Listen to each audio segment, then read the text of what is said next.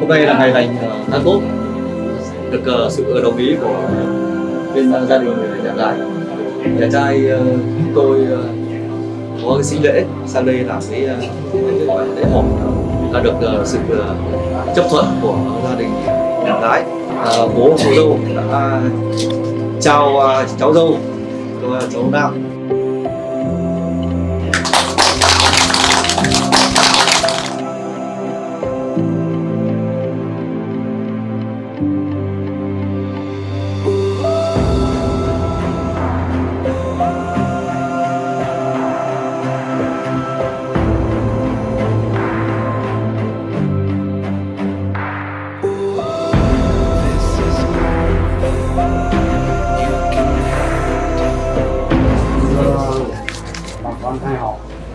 Hôm nay long trọng gia đình tổ chức hội nghĩa lễ hỏi cho hai con. Rồi cũng uh, rất mong được ờ, uh, họ nhà trai là tiếp tục để giúp đỡ và giáo dục để cho các cháu nó càng ngày càng lớn lên và tin lực và trở thành một gia đình hạnh phúc trong cái thân của mọi người xin cảm ơn.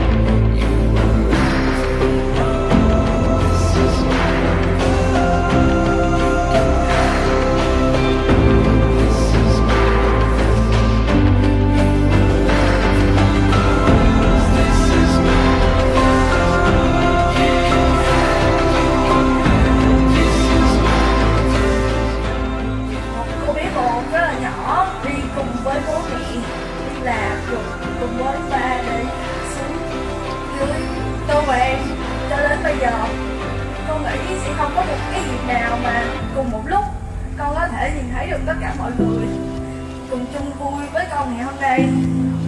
Con thật sự cảm động bởi vì không phải hôm nay con là nhân vật chính mà bởi vì con đã nhận được quá nhiều tình thương từ mọi người để cho con có một tuổi thơ rất là đẹp. Và con nghĩ rằng một người có tuổi thơ đẹp thì sẽ có được một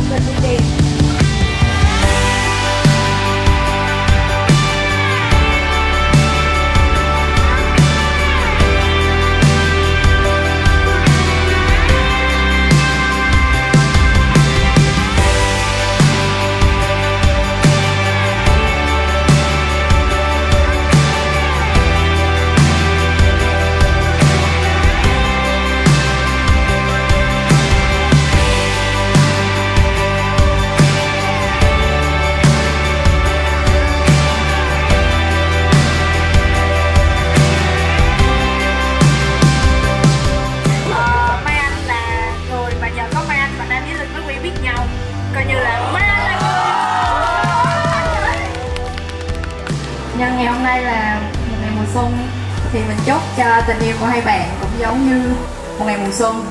Luôn luôn tươi, luôn luôn mới, luôn luôn nồng nhiệt.